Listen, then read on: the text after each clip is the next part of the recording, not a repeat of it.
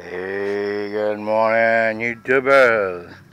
Here we are, part five on the hybrid.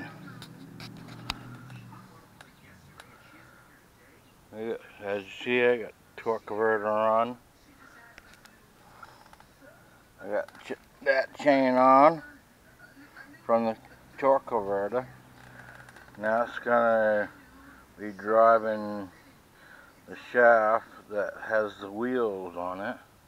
The wheels is off right now. Uh, I'm supposed to do testing next video.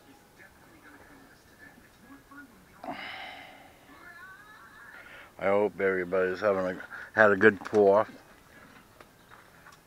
So a week after Fourth of July. All right. Anybody have any idea what that's going to be used for? Ooh. Let me go on the other side. So yeah, walk around. Alright, there's another close-up. Anybody have an idea what that was used for and what it's going to be used for? I'm using it for something that it wasn't designed for, but it, it work, it's going to work good for what I have in mind. So a little mystery Let's see, I gotta put oil in it.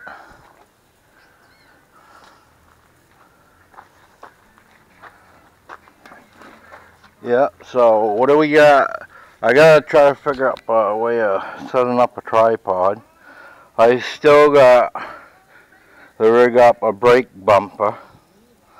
Then I might put that black basket on the back here after I get the bumper put on there.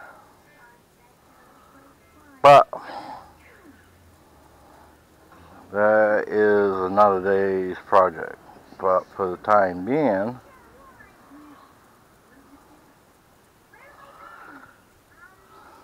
that's what we got done so far.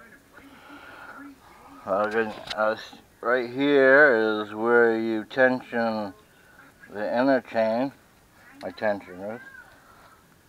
The pillow bearings have been greased.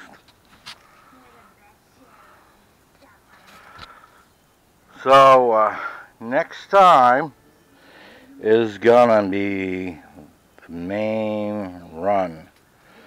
I still got to get oil put in this and I got a a shut off that I got to put on I don't like to shut off that's on the motor. I want to get something closer if I need to shut it off. But usually you let off the throttle, then you don't have no power going to your drive wheels. And you just brake. Unfortunately, it's only got two brakes, so what I want to do is rig up another brake from brake a skinny bar that I'm going to put in air, threaded rod, and I gotta hopefully it'll angle right so it'll the, I'll get a set of brake from another bike and uh, borrow that and run another a long cable to the front. I'm hoping I I can get long enough cable so I can hook up another brake. Hopefully ain't too far away. But that's another day. Here we are. It's all hanging hanging up right now. I gotta run it up off the ground and I have to test run the chains to make sure it stays on and everything's kosher, you know. But that's another week. Stay tuned, yeah. Oh yeah, I got the throttle hooked on. That's all set. The throttle should be good. Uh, it's already linked up in up here in here, so that's all set.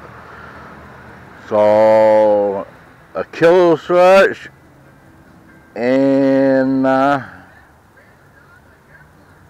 put in some oil. and uh, then we'll get the test run, it up in the air. Alright, until next time, peace.